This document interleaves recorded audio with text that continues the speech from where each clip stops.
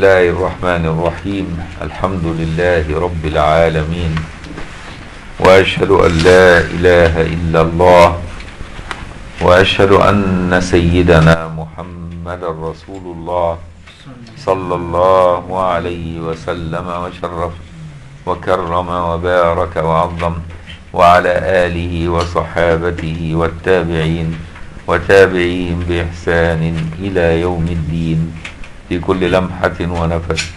عدد ما وسعه علم الله. أما بعد من كتاب سنن الترمذي للإمام الحافظ الحجة أبي عيسى محمد بن عيسى بن ثور بن موسى الضحاك البوغي الترمذي رحمه الله تعالى ونفعنا الله بعلومه وعلوم مشايخه وتلامذته. وقراء سننه وشراحها في الدارين آمين. الباب السابع والثلاثين بعد المئة من الكتاب الرابع والأربعين كتاب الدعوات وهو الكتاب قبل الأخير من السنن. فآخر كتاب في السنن هو الكتاب الخامس والأربعين كتاب المناقب. ثم بعد ذلك ألحق بسنن الترمذي كتاب آخر سمى كتاب العلل. والعلل تكلم فيه على مصطلح على جزء من مصطلح علم الحديث وفي علم الرجال وتعليل الأسانيد. يعني إحنا إيه في أواخر كتاب السنن. فسنن الترمذي 45 كتاب 45 كتاب. إحنا في الرابع والأربعين في أواخره كتاب الدعوات. الباب الخامس والأربعين الأخير وهو المناقب. يبدو أننا هنخلصه في أثناء رمضان إن شاء الله. باب في فضل التسبيح والتهليل والتقديس. والتقديس إنك تقول سبحان الملك القدوس رب الملائكة والروح ادي معنى التقديس. سبحان الملك القدوس رب الملائكة والروح. أما التهليل فقولك لا إله إلا الله. والتسبيح معلوم سبحان الله أو سبحان الله وبحمده أو سبحان الله العظيم أو سبحان ربي الأعلى. كل دي تسبيحات. بإسنادنا المتصل عن مشايخنا جزاهم الله عنا خير للإمام الترمذي في سننه الحديث الثاني والثلاثين بعد التسعمائة والثلاثة آلاف. قال حدثنا موسى بن حزام وعبد بن حميد وغير واحد قالوا حدثنا محمد بن بشر فقال سمعت هاني ابن عثمان عن أمه حميصة بنت ياسر عن جدتها يسيرة وكانت من المهاجرات رضي الله عنها قالت قال لنا رسول الله صلى الله عليه وآله وسلم عليكن بالتسبيح والتهليل والتقديس وعقدن بالأنامل يعني عدوا كأن النبي بيحثهم على اتخاذ أوراد معدودة ويضبطونها بالعد حتى يداوموا عليها لأن العد يعينك على المداومة لأنك لو لم تعرف العد كيف تداوم؟ وبالتالي كلمة وعقدنا بالأنامل دليل على احسبنا واعددنا ما تقولون حتى تواظبوا على هذا العدد. عليكن بالتسبيح والتهليل والتقديس واعقدن بالأنامل فإنهن مسؤولات مستنطقات. وممكن التقديس يفهم منه برضو قولك الحمد لله. لأن الحمد لله نسبة الكمالات والتقديس هي نسبة الكمالات. فممكن يكون التقديس هنا بمعنى الحمد لله أيضا. واعقدن بالأنامل أي اعددن ما تقولون من ذكر حتى تواظبوا على هذا العدد. لأن أحب الأعمال عند الله أدومها وإن قل. فإنهن مسؤولات مستنطقات اللي هي الأنامل. يوم تشهد عليهم أيديهم وأرجلهم بما كانوا يكسبون. فتم تشهد عليك إليك أنك إيه سبحت عليها كذا وهللت عليها كذا وقدست عليها كذا. فإنهن أي الأنامل مسؤولات مستنطقات. ولا تغفلن فتنسين الرحمة. ولا تغفلن عما إيه عما اعتدتم من الذكر فواظبوا على ما وظفتم لكم من أوراد ومن أذكار فلا تغفلن عنها ولا تغفلن فتنسين الرحمة. يعني إيه تنسين الرحمة؟ يعني يقل الثواب الذي هو سبب للرحمة بسبب انقطاع العمل. قال هذا حديث غريب إنما نعرفه من حديث هانئ ابن عثمان وقد روى محمد بن ربيعة عن هانئ ابن عثمان. والحمد لله كل المسلمين في ختام الصلاة بيسبحوا ويحمدوا الله ويكبروا الله ويهللوا الله في ختام كل صلاة. والحمد لله. فهي أمة ذاكرة.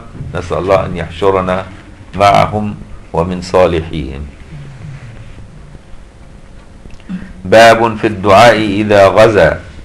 وعن أبي قال حدثنا نصر بن علي الجهضمي قال أخبرني أبي عن المثنى ابن سعيد عن قتادة عن أنس رضي الله عنه قال كان النبي صلى الله عليه وسلم إذا غزا قال اللهم أنت عضدي. عضدي يعني قوتي. وأنت نصيري يعني ناصري. وبك أقاتل مستعينا بك.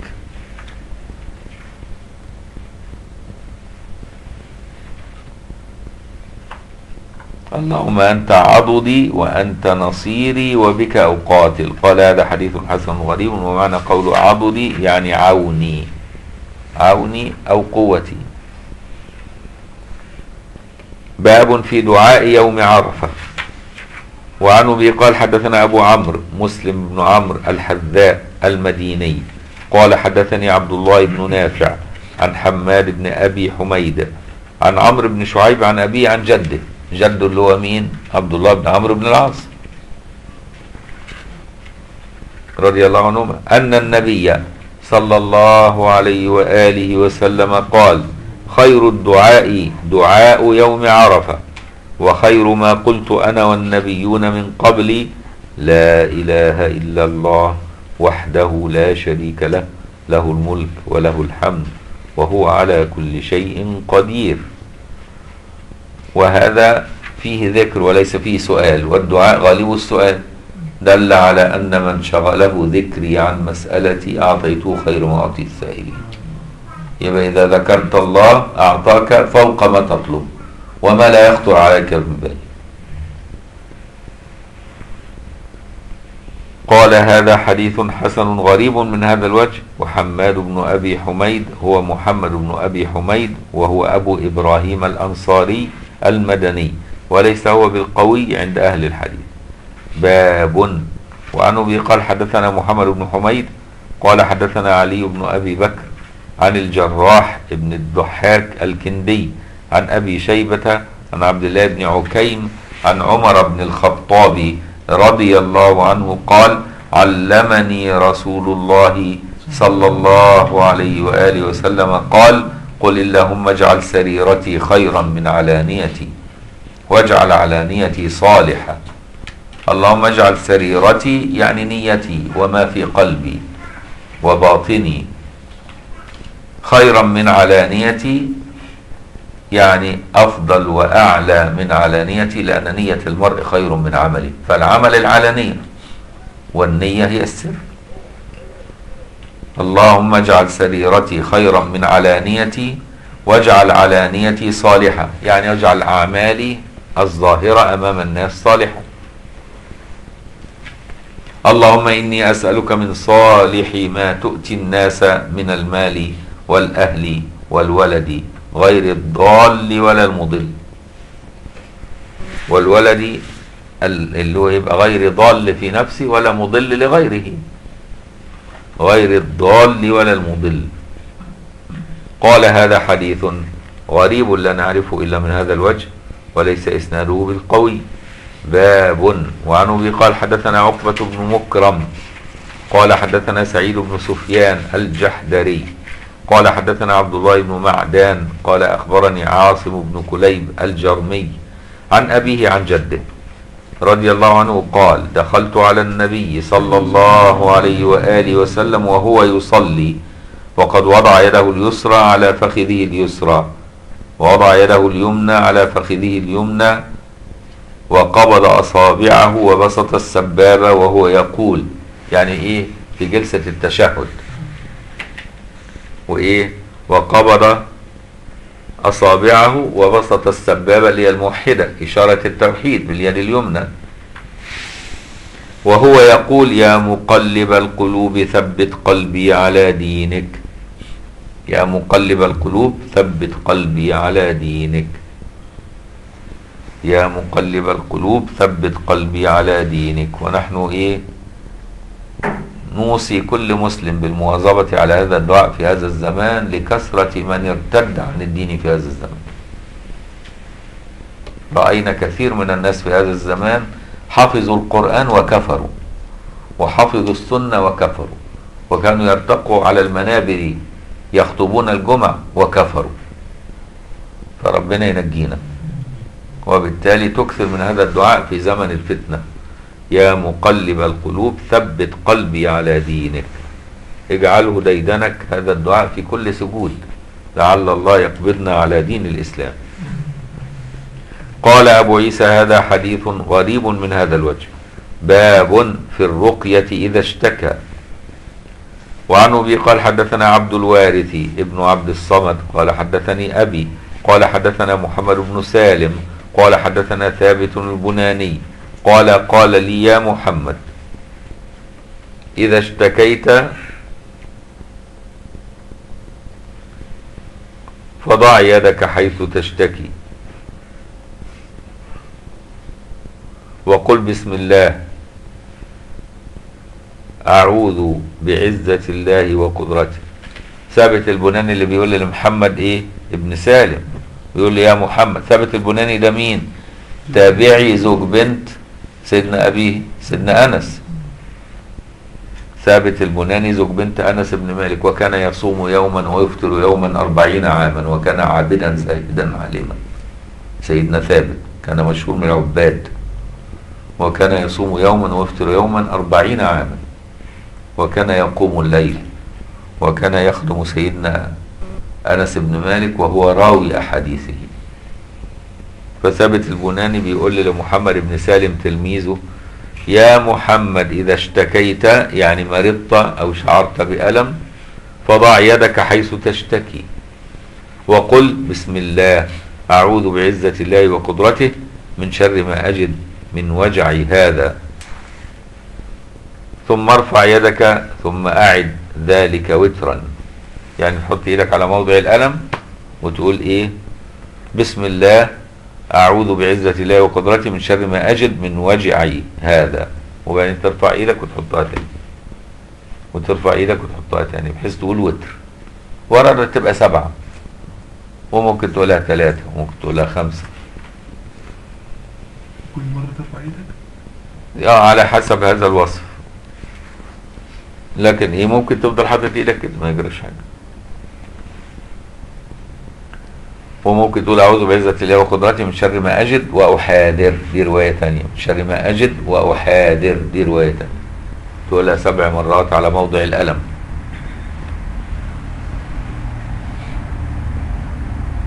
فإن أنس بن مالك حدثني أن رسول الله صلى الله عليه وسلم حدثه بذلك. قال هذا حديث حسن غريب من هذا الوجه ومحمد بن سالم هذا شيخ بصري. باب دعاء أم سلمة. وعن أبي قال حدثنا حسين بن علي بن الأسود البغدادي. قال حدثنا محمد بن فضيل عن عبد الرحمن بن إسحاق عن حفصة بنت أبي كثير عن أبيها أبي كثير عن أم سلمة رضي الله عنها قالت علمني رسول الله صلى الله عليه وآله وسلم قال قولي اللهم هذا استقبال ليلك وإدبار نهارك وأصوات دعاتك وحضور صلواتك أسألك أن تغفر لي. وده دعاء يقال عند سماع أذان المغرب. عند سماع أذان المغرب. تقول اللهم هذا استقبال ليلك وإدبار نهارك وأصوات دعاتك اللي هي صوت الأذان يعني. وحضور صلواتك اللي هي صلاة المغرب. أسألك أن تغفر لي. وفي رواية تانية اللهم إني أسألك اللهم إن هذا إقبال ليلك وإدبار نهارك وأصوات دعاتك فاغفر لي. قال هذا حديث غريب وإنما إنما نعرفه من هذا الوجه. وحفصة بنت أبي كثير لا نعرفها ولا أباه. وعن أبي قال حدثنا الحسين بن علي بن يزيد الصم الصدائي البغدادي. قال حدثنا الوليد بن القاسم ابن الوليد الهمداني عن يزيد بن كيسان عن أبي حازم عن أبي هريرة رضي الله عنه قال قال رسول الله صلى الله عليه وآله وسلم ما قال عبد لا إله إلا الله قط مخلصا إلا فتحت له أبواب السماء حتى تفضي إلى العرش. أبواب السماء هي أبواب القبول حيث أن العمل الصالح يرفع إلى السماء من أبواب القبول. إلا فتحت له أبواب السماء حتى تفضي إلى العرش. وعرش الرحمن في السماء السابعة فوق السماء السابعة. ما اجتنبت الكبائر. يعني ربنا سبحانه وتعالى يفتح له بشرط أن يكون مجتنبا للكبائر. وكأن فعل الكبائر يؤدي إلى إلى عدم قبول العمل. فنسأل الله أن يسلمنا. قال هذا حديث حسن غريب من هذا الوجه. وعن أبي قال حدثنا سفيان بن وكيع قال حدثنا أحمد بن بشير. وأبو أسامة عن مسعر عن زياد بن علاقة عن عمه قال كان النبي صلى الله عليه وسلم يقول اللهم إني أعوذ بك من من منكرات الأخلاق والأعمال والأهواء. والمنكر هو كل ما حرمه الله. أعوذ بك من منكرات الأخلاق والأعمال والأهواء. يبقى الأخلاق هي التصرفات والأعمال هي ما يصدر من الجوارح والأهواء هو ما يدور في القلب مما يجعلك من أهل الغفلات.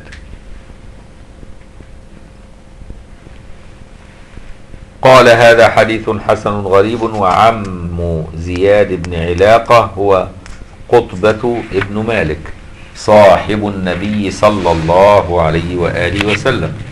وعن أبي قال حدثنا أحمد بن إبراهيم الدورقي قال حدثنا إسماعيل بن إبراهيم قال حدثنا الحجاج بن أبي عثمان عن أبي الزبير عن عون بن عبد الله عن ابن عمر رضي الله عنهما قال بينما نحن نصلي مع رسول الله صلى الله عليه وآله وسلم إذ قال رجل من القوم الله أكبر كبيرا والحمد لله كثيرا وسبحان الله بكرة وأصيلا. فقال رسول الله صلى الله عليه وسلم من القائل؟ كذا وكذا. فقال رجل من القوم أنا يا رسول الله. قال عجبت لها فتحت لها أبواب السماء. يعني قبلت. وعشان كده إحنا بنتخذ مثل هذه إيه الأذكار في تكبيرات العيد. المصريين يحبوا يقولوها في تكبيرات العيد. لي الله أكبر كبيرا والحمد لله كثيرا وسبحان الله بكرة وأصيلا. لا إله إلا الله وحده صدق وعده ونصر عبده وأعز جنده وهزم الأحزاب وحده. إلى آخر تكبيرات العيد اللي, اللي المصريين بيقولوها من قبل ما الإمام الشافعي يجي مصر. يعني من أيام عصر التابعي التابعين. يعني من السلف الصالح. ويجي الوهابية ينهون عن هذه الصيغة. يقول لك إحنا سلفية. أي سلف؟ إذا كان بيتقال من أيام السلف. ده الإمام الشافعي جاء أهل مصر لقاهم بيقولوها. الإمام الشافعي لما جاء لمصر لقاهم بيقولوها. فبيقول فإن قال مثل ما يقول أهل مصر كذا فالأمر عندي واسع فلا بأس. ما نهاهاش الإمام الشافعي. لكن الوهابية الجهلة ربنا يعلمهم. فقال رسول الله صلى الله عليه وسلم من القائل كذا وكذا فقال رجل من القوم أنا يا رسول الله قال عجبت لها فتحت لها أبواب السماء. قال ابن عمر ما تركتهن منذ سمعتهن من رسول الله صلى الله عليه وآله وسلم قال أبو عيسى هذا حديث حسن صحيح غريب من هذا الوجه. وحجاج بن أبي عثمان هو حجاج بن ميسرة الصواف ويكنى أبا الصلت وهو ثقة عند أهل الحديث. باب أي الكلام أحب إلى الله؟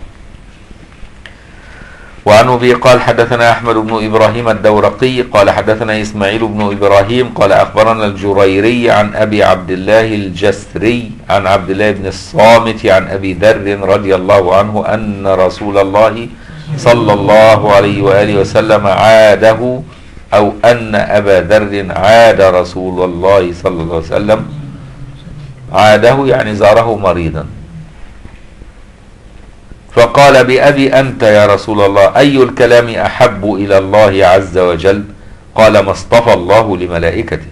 سبحان ربي وبحمده. سبحان ربي وبحمده. سبحان ربي وبحمده. قال أبو عيسى هذا حديث حسن صحيح. والحمد لله كل المسلمين يقولون ذلك في كل ركوع وكل سجود وفي ختام كل صلاة. فالحمد لله الذي جعلنا نعبد الله كعبادة الملائكة. هذا من فضل الله عليه. باب في العفو والعافية.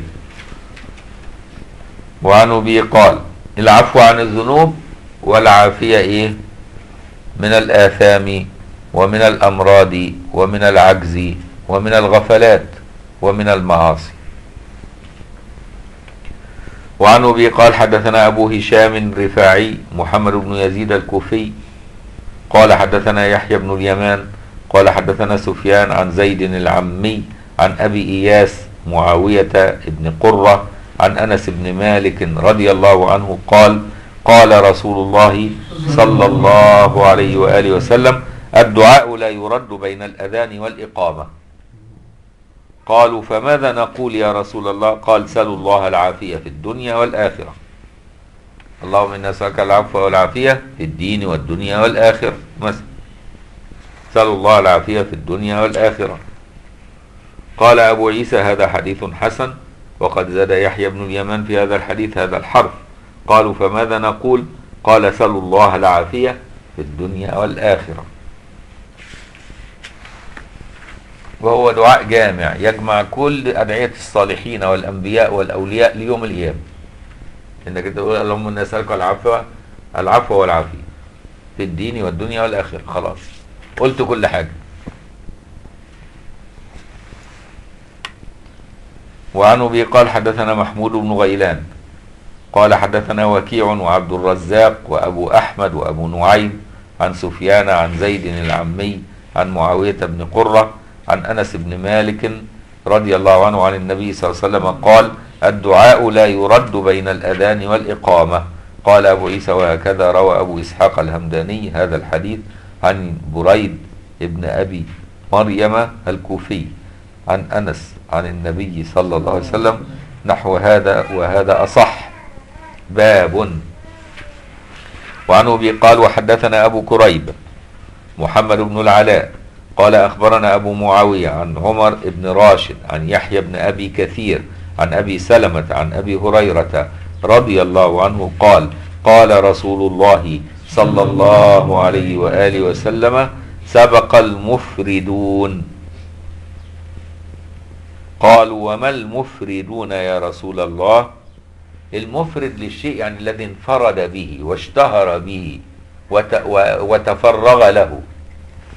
يبقى الإنسان لما يتفرغ لشيء ويكثر منه ويشتهر به يسمى مفرد يعني أفرد وقته وإيه؟ لذلك.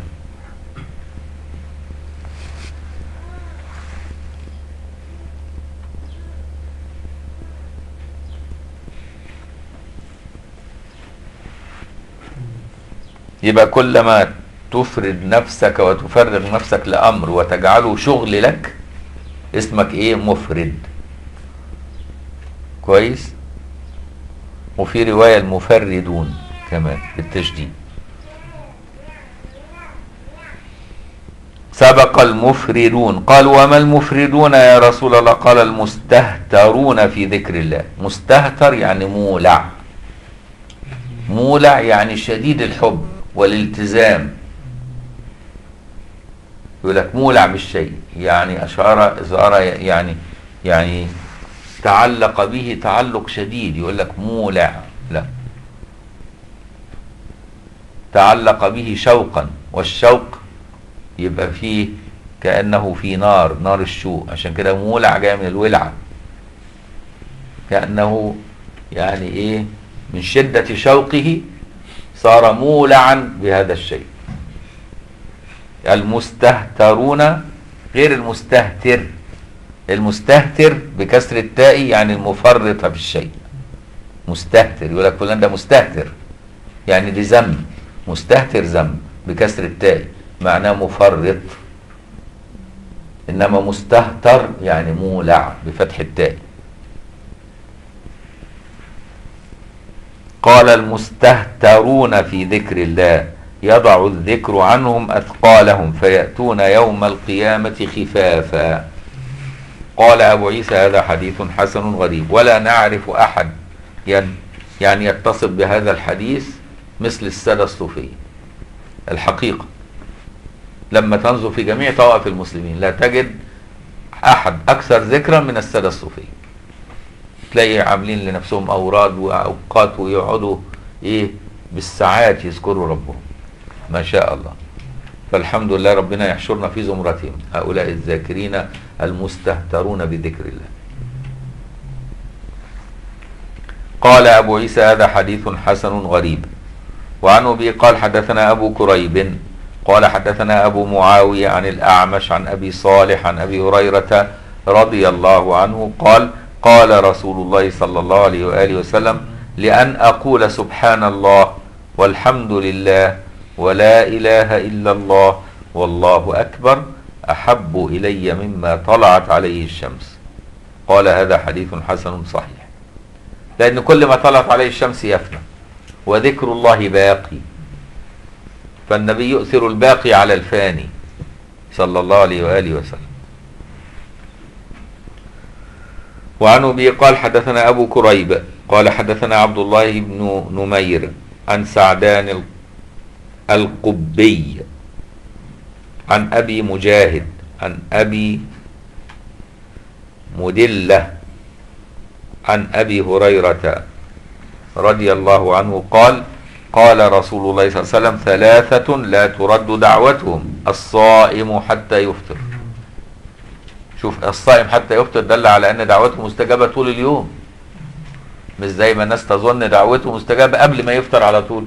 يقوم قبل أذان المغرب بخمس دقايق بس يقول يا رب يا رب. ده أنت طول من أول ما يطلع الفجر لحد أذان المغرب دعوتك مستجابة. ايها الصائم من رحمة ربنا واسعة.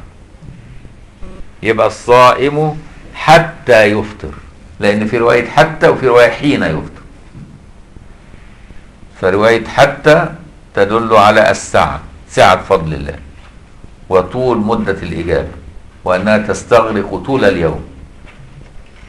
الصائم حتى يفطر والإمام العادل. الإمام العادل هو الذي يحكم المسلمين ويعدل بينهم. ودعوة المظلوم. أي مظلوم ولو كافر ربنا يستجيب دعوته.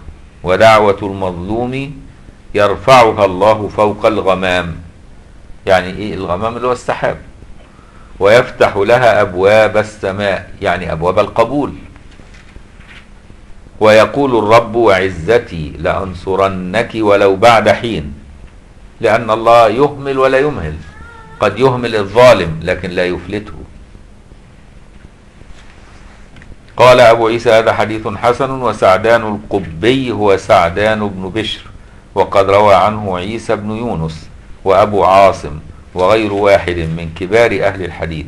وأبو مجاهد هو سعد الطائي وأبو مدلة هو مولى أم المؤمنين عائشة رضي الله عنها وإنما نعرفه بهذا